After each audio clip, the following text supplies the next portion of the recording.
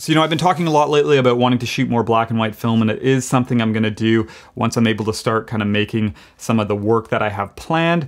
But my experience is really limited, and I've actually only ever shot one roll of HP5. That's it when it comes to black and white. So I figured, you know, now it's really kind of a better time than ever just to get out and practice and experiment with things. So I figured what could be cool is to do a series of these videos, starting with this one today going out and for this video testing three different film stocks, take a look at the initial results and then jump back on the computer afterwards and just kind of compare the three of them see the different characteristics and you know start to get a feel for which one might you know work for the images that I'm going to be making in the future. So also want to note if you are a black and white shooter, I'd love to hear below what your favorite film stock is or if you have any that you think are worth trying out that I haven't mentioned yet. But anyways, let's jump into it.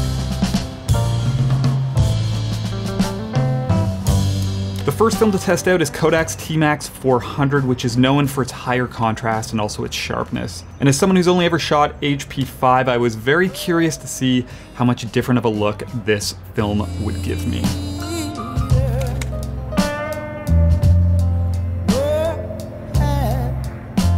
I was immediately pretty impressed with how the T-Max images looked, and you know, I was expecting them to be a bit punchy, and they were, but it wasn't over the top and they still had kind of just the right amount of character while still giving you the opportunity to add more of it or pull some of it back. But I don't want to stay too.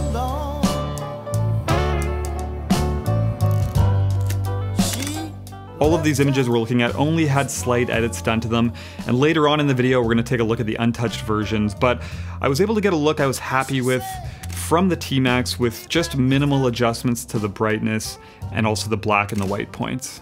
Not bad results at all from a film that for some reason I thought I wasn't really going to enjoy.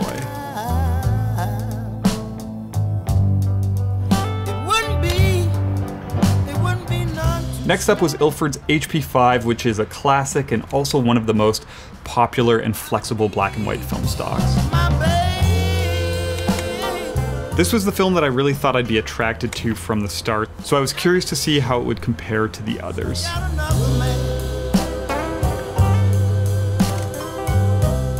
It definitely has a softer look than the T-Max with a lot of midtones and a lot of gray. And you know, even though I held back on editing too heavy for this comparison, I found really quickly that I was always having to add quite a bit of contrast and make some more kind of extreme tonal adjustments to get a look that I liked. In a way, there's an appeal with HP5 where I know that I'd be working with a really flexible film that would give me options when it comes to things like exposure, development, and processing. But I also kind of feel like it's one I need to sit on for a bit, as the initial results didn't really jump out at me. The third roll that I decided to shoot for this first part was Rollei Retro 400S. And you know, this was a random purchase as I was searching for different black and white films, but the results that I saw online intrigued me, showing just a very contrasty and unique look. When doing research about the 400S, I read that it's sourced from Agfa and is actually an aerial film that's meant for cutting through heavy cloud cover. And I found out very quickly that it has a look to it, by far the punchiest of the three films that I tried and probably just a little bit too much for my likings.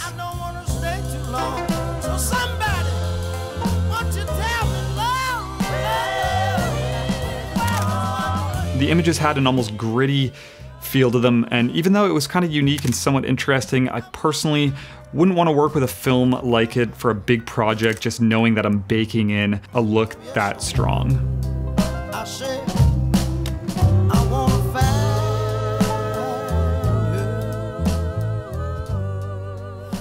So really interesting results, and I gotta say, I kind of have mixed feelings on all three of them.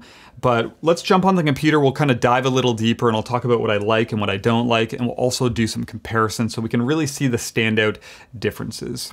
Okay, so jumping into things really quick, important to note, uh, these were all scanned at a lab. I had these developed and scanned by Carmencita Film Lab in Spain. Uh, they did an amazing job, super happy with the results. So if you're looking for a lab, highly recommend them. I'll put a link below if you're interested. Uh, but for the scans, I just asked if they could kind of give me like a really neutral base look with all of them, just leaving some room for some edits. Uh, with nothing really too heavy handed, just so we could really get a feel for the differences between these film stocks. But what we will do is we're gonna start with the HP5. And as I kind of ventured into this world of black and white, I just assumed that this was going to be the film that I probably would work with uh, right from the start. Uh, I'd say most likely because it's the most popular and it's a great film as well. It, has kind of this classic look, you can see right away.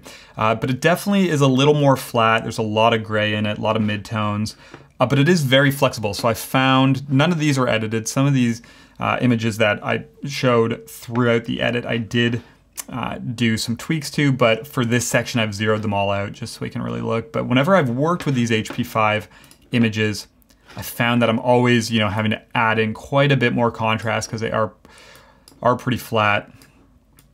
Um, we aren't going to spend too much time doing this stuff, but I will say as well, you know, since I'm new to this world, I still feel like I'm trying to develop and figure out, you know, what I really prefer when it comes to a look. But so far, I found that that is like, you know, a little darker. I'm not a huge fan of like whites that are super punchy and say like brilliant. So I find I'm always pulling stuff down a little bit, but I still do like some contrast in the images.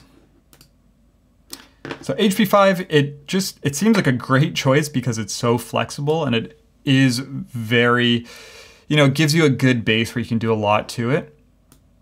But uh, I don't know if it's like, it kind of feels like it's potentially the safe choice, which again, I don't know if that's a bad thing. Seems like a really flexible stock.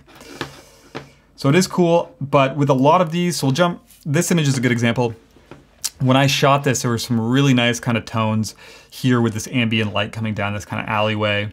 And you can see in this final image, um, it's very flat. So if I was to edit this, I'd probably pull the exposure way down and then, you know, really bump the contrast up and probably pull those highlights down a little bit just to kind of mute them a bit. But you can see the contrast is up at like 75, so uh, having to add a lot into this. But it's it's still working, it looks really good. Um, oh, this one already has some, let's zero that back out. So you can see that was with some uh, a lot of contrast added, but uh, this one as is, a lot of gray in this image. And you'd have to add quite a bit of contrast to, to get some of that separation. That's at 100, and uh, it doesn't even look super heavy-handed. So interesting. I do really like HP5. I liked it uh, when I first shot it, but I feel like I'm kind of after something that maybe just has a little bit more punch to it, but not too much. Kind of a fine balance.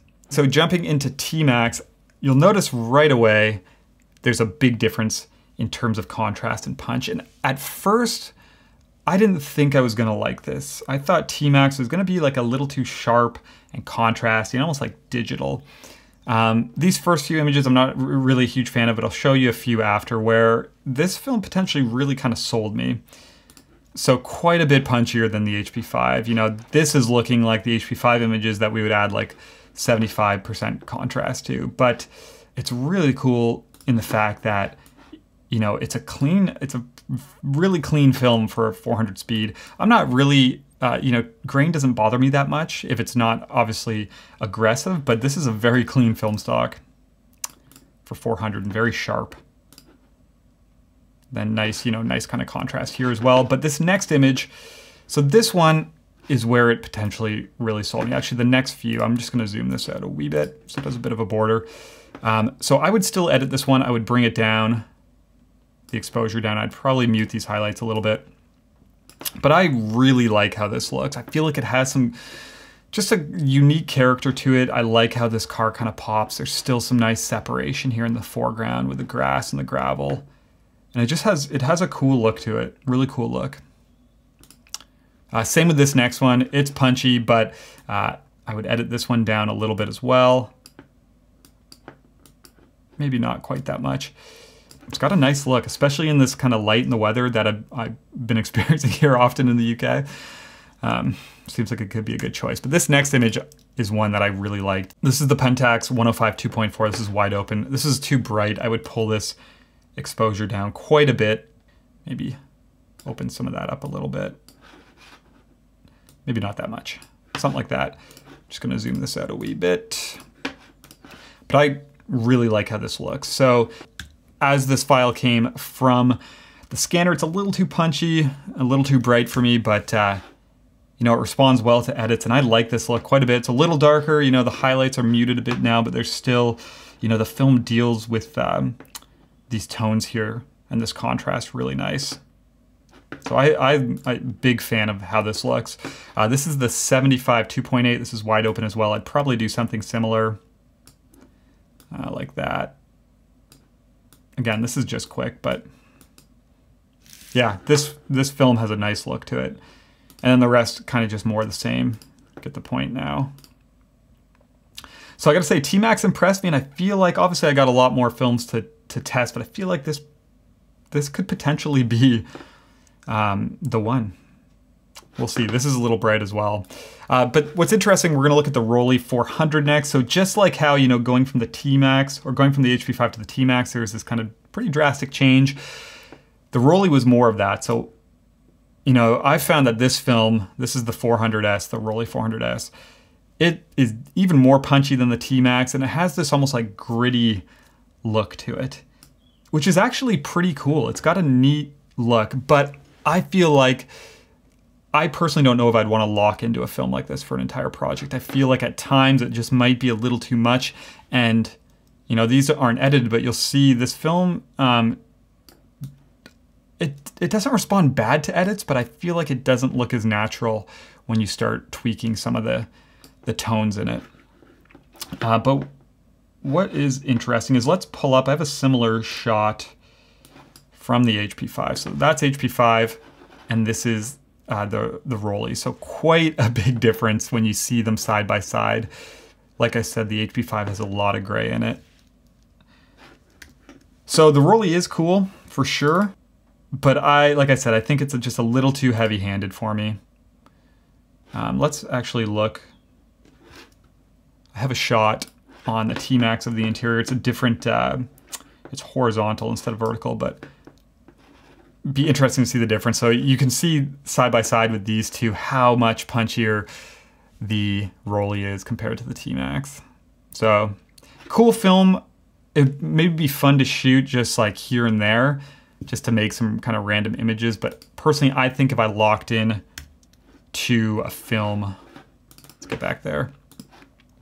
I feel like if I locked into a film uh, like this, I'd maybe get a little tired of it after a while. And again, you can see if you try and start messing with the tones too much, again, this is heavy handed, but it just doesn't look that natural. So it's almost like this look that comes with it is baked in. And I'd almost refer to it as like, it looks like someone jacked up the clarity slider a little bit in Lightroom. Uh, we'll do one more comparison because we have a shot of the T-Max here. Uh, and they aren't too far off in that actually, but the Rollei definitely still has more character too much character. Two more images. The one thing I will say though is, um, you know, if we zoom in, because the, the Rollei film is also a 400 speed and it's still fairly clean as well. It's not super grainy. You can see some grain here. These are all handheld on the Pentax, so they still look pretty sharp. And then one last one. I feel like this one I might have underexposed a little bit. You can see as you you want to kind of pull anything out of the shadows there, it's not working too great. But uh, yeah, definitely has an interesting look, but I think this is one I will definitely cross off my list because it's just, it's just a little bit too kind of heavy-handed for me and too much of a look. But out of the two so far, I'm not, I'm definitely not writing off HP5, but I think T-Max has potentially won me over very quick. You know, these images especially jumped out at me right when I saw them and uh, it could be a cool film to work with moving forward. So we'll see what I think after I test some more of these, but this I would say so far is in the lead. So really interesting results. I love doing stuff like this, especially when I have the time just going out to practice and test. I think it's super important just to, you know, understand the tools that you're using and what works best for you. So looking forward to the second video. In that one, I'm gonna be testing some more Rollei films. So I have some RPX 100, also have some Super Pan 200 and then have some Ilford Pan F Plus, so some slower film stocks, but looking forward to seeing how these kind of compare to the ones that we looked at today. But anyways, hope you all enjoyed this video. As always, thank you for watching, for commenting, for all the support, all that kind of stuff, and I'll talk to you soon.